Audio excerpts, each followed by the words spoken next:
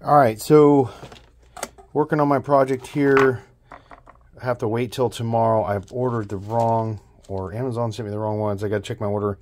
I ended up, I needed the M4 T or uh, square bolts to go in these slots here for mounting the bracket for the 3D printed, which is off of my new 3D printer, which I think is pretty awesome uh, to be able to print your own stuff. I will link down below um, the printable file for these.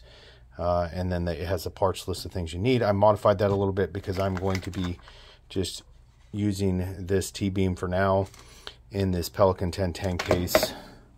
And of course I have my beam antenna here that I showed on a previous video. That's an outdoor antenna. That will go on the same pole. This is going to go on a temporary structure. Stay tuned for more uh, on my mesh communications series. Thanks for watching.